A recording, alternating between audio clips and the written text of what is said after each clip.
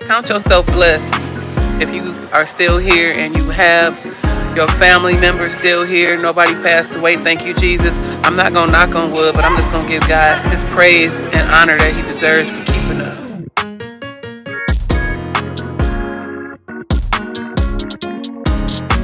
Good morning, Love Bugs and Love Muffins. It's Mama Love.